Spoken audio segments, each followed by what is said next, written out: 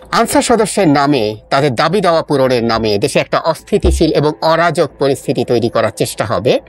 এটা আমরা বুঝতে পারছিলাম।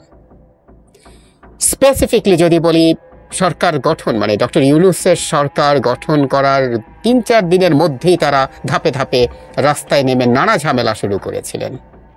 সেই ঝামেলা যে একটা পর্যায়ে এখানে আসবে আমরা বুঝতে পারছিলাম এবং গতকাল সারা দিন এবং বিশেষ করে রাত পর্যন্ত যা গড়ালো তাতে এটা খুব স্পষ্ট একটা বাজে ধরনের সংকট তৈরির চেষ্টা ছিল।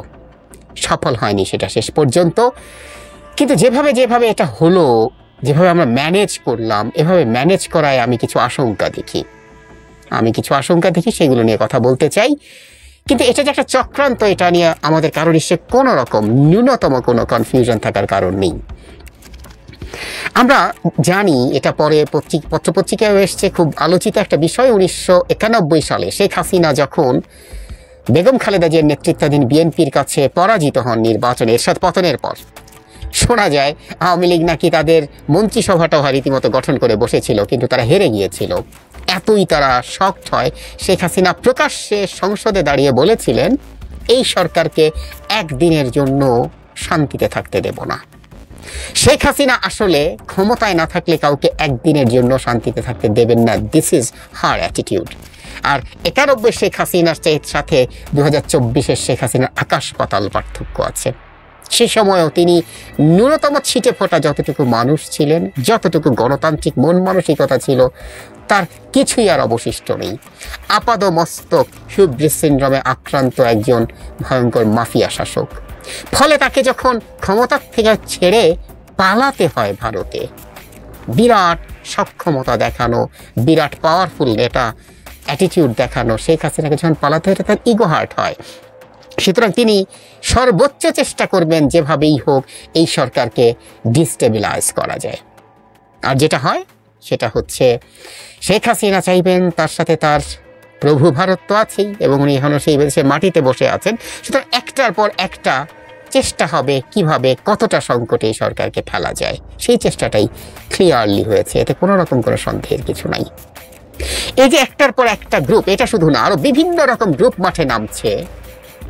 ডক্টর ইউনুস ক্ষমতায় আসার সাথে সাথে আমাদের বুঝতে বাকি থাকে না এদের উদ্দেশ্য কি।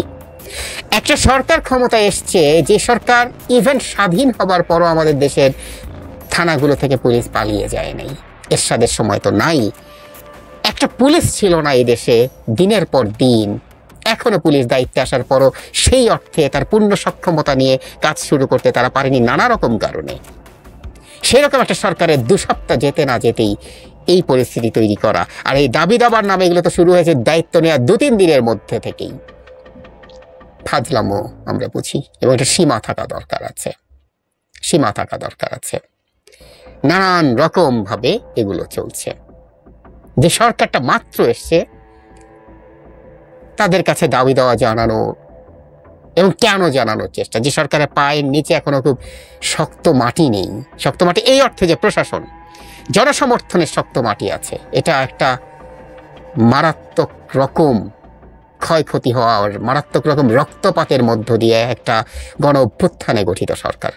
এই রাষ্ট্রের সবাই এর সাথে আছে, আওয়ামী লীগের হয়ে হালুয়া রুটি খাওয়া লোক এবং তাকে ক্ষমতায় থাকতে সাহায্য করা সরকারের বিভিন্ন পর্যায়ের লোকজন ছাড়া সবাই আছে। কিন্তু ওই যে মাটি নাই বলতে যে একটা রাষ্ট্রযন্ত্র আছে, তার উপরে নিয়ন্ত্রণ প্রতিষ্ঠা এখনও পুরোপুরি হয়ে ওঠেনি, ফলে তাকে ডিস্টেবিলাইজ করার চেষ্টা সবাই করছেন। ডক্টর ইউনুস গতকালই তার প্রথম ভাষণ দিয়েছেন। সেটা নিয়ে আমি আলাদাভাবে বিস্তারিত অ্যানালাইজ করব। ইনফ্যাক্ট আনসারের ঘটনাটা না হলে হয়তো এখনই সেই ভিডিওটা দিতাম, কিন্তু আমি আবার পরে দিচ্ছি সেটা। কিন্তু ওখানে উনি একটা খুব সুন্দর কথা বলেছেন, এই দাবি দেওয়া চাওয়া নিয়ে। বলছেন, একটা সরকার যখন আসে, দীর্ঘদিন এই দেশে যখন মানুষের ম্যান্ডেটহীন সরকার ছিল, যারা জনগণের কথা শোনেনি, সেই সময় মানুষের মধ্যে নানা রকম অপ্রাপ্তির বোধ, বঞ্চনা হতে পারে পারে। এটা সম্ভাবনা আছে এবং সেটা জানানোও যাবে নতুন সরকারকে। কিন্তু উনি বলছেন, সেটা এখন এভাবে রাস্তা বন্ধ করে না। তিনি বলছেন যে, এগুলো তারা লিখিতভাবে দিক, সেগুলো নিয়ে আলাপ আলোচনা হোক, তারপর হবে। কিন্তু না। সেটা কেউ শুনলেন না, শুনবেন না। এরকম ম্যাসিভ কাণ্ড ঘটাতে যাচ্ছেন। কাণ্ড ঘটাতে যাচ্ছেন। আজ যা হলো, সেখানে আমরা মিস্টার সার্জিসের বক্তব্য শুনলাম। ওই ঘটনার পর সার্জিস কথা বলেছেন। উনি খুব চমৎকারভাবে ব্যাখ্যা করেছেন। আমরা নিউজও পেয়েছি এটা। সেটা হচ্ছে আনসাররা যখন আজকে সচিবালয় ঘেরাও করছেন, দীর্ঘ একটা সময় তারা সচিবালয় পুরো ঘেরাও করে রেখে দিয়েছেন। সচিবালয় থেকে কাউকে বের হতে দেননি। ওর মধ্যে উপদেষ্টারা তো ছিলেনই। এই আন্দোলনের সমন্বয়করা ছিলেন এবং একজন সমন্বয়ক যারা ভাসনাথকে আমরা আহত হতেও দেখেছি। আর অন্য কোনো কর্মকর্তা, কর্মচারী কেউ বেরোতে পারেন এই পরিস্থিতি যখন হয়, তখন আনসারদেরই একটা প্রতিনিধি দল যায়, তারা আলোচনা করে, স্বরাষ্ট্র উপদেষ্টার সাথে তাদের দিক থেকে দাবি দেওয়া। প্রাইমারিলি যেসব যৌক্তিক দাবি আছে সেগুলোর সরকারের পক্ষ থেকে মেনে নেওয়ার কথা যখন হয়, সবই ঠিকঠাক আছে। এরপরও কিন্তু তারা জায়গা ছাড়েনি এবং একটা পর্যায়ে পরিস্থিতি পাল্টে যায় এবং সেই ম্যানেজমেন্টটা নিয়ে আমার প্রশ্ন আছে। কিন্তু এদেরকে নিয়ে এরা কারা এবং এরা কি করছে, এটা নিয়ে খুব চমৎকার একটা স্টেটাস দিয়েছেন জুলকারনান সায়ের ভাই। আমরা তাকে চিনি। বাংলাদেশের এই মাফিয়া আওয়ামী লীগ সরকারের বিরুদ্ধে যারা খুব চমৎকার কঠোর লড়াই করেছেন, খুব সামনে থাকা মানুষদের একজন। তার অনেকগুলো অনুসন্ধানী রিপোর্ট যিনি পার ছিলেন, আমরা খুব ভালো মতো জানি। সার্ভে লিখছেন, আনসার বাহিনীর নাম ব্যবহার করে যারা তথাকথিত আন্দোলন শুরু করেছিল, এরা মূলত অঙ্গীভূত আনসার সদস্য।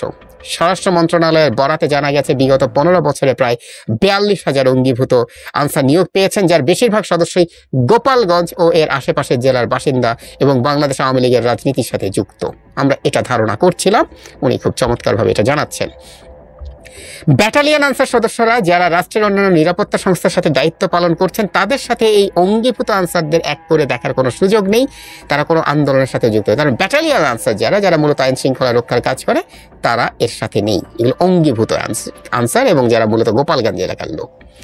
বিশ্বস্ত গোয়েন্দা সূত্র মারফত জানা গেছে, আনসার ও গ্রাম প্রতিরক্ষা বাহিনীর সাবেক DG major general A K M Aminul হকের পরোক্ষ উস্কানিতে দেশে বিশৃঙ্খল পরিস্থিতি সৃষ্টির উদ্দেশ্যে অঙ্গীভূত আনসার সদস্যদের লেলিয়ে দেওয়া হয়েছে।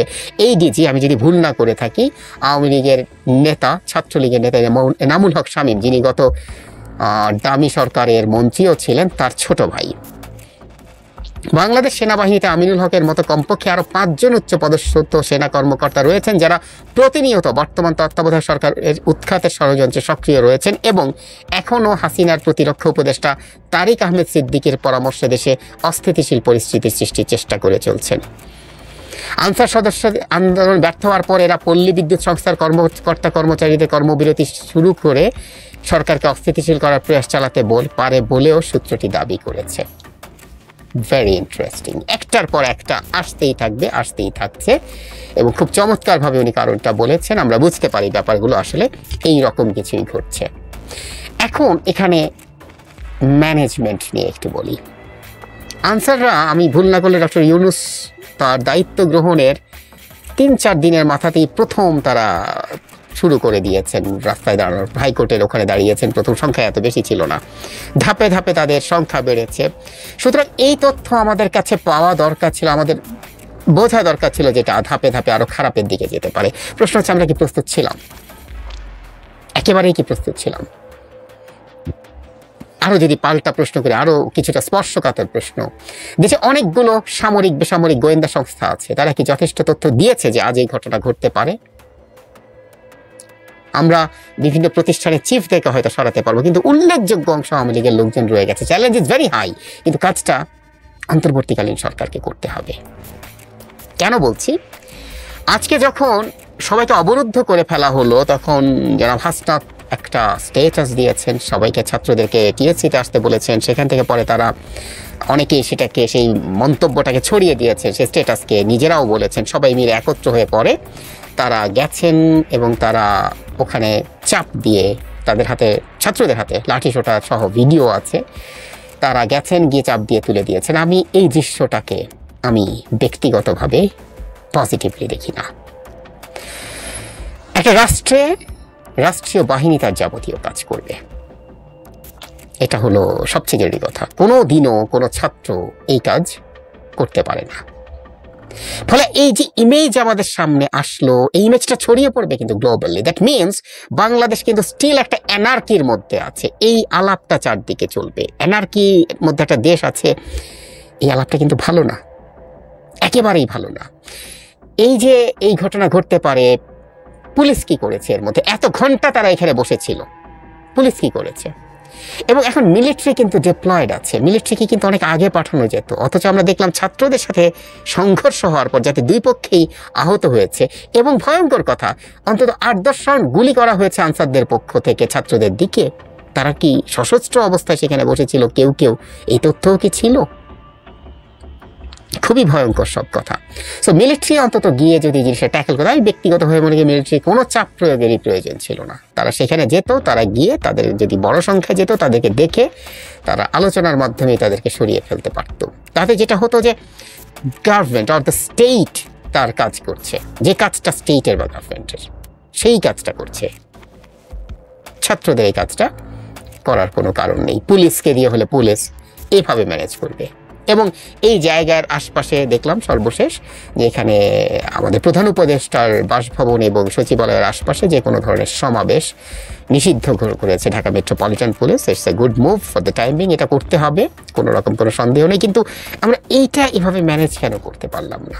আবার এটাও সত্য, যদি আমরা কোনো কারণে পুলিশ এবং মিলিটারি দিয়ে কাজটা এই মুহূর্তে অন্তত সলভ করতে না পারি, তাহলে আমাদের এই অভ্যুত্থানকে পাল্টে দেওয়ার মতো পরিস্থিতি তৈরি হলে ছাত্রদের আবার নামতে হবে, বল প্রয়োগ করার জন্য হলেও, পাল্টা বল প্রয়োগের জন্য হলেও নামতে হবে, এটাও যৌক্তিক। কারণ এই অভ্যুত্থান একটা পাল্টা অভ্যুত্থানের মধ্য দিয়ে এর সুফল শেষ হয়ে যাবে, এর সুফল অন্য কেউ নিয়ে নেবে জনগণের হাতছাড়া হয়ে যাবে, সেটাও আবার আমরা অ্যাকসেপ্ট করতে পারি না। বটম লাইন হচ্ছে, ষড়যন্ত্র কিন্তু একটার পর একটা হচ্ছে, হবে।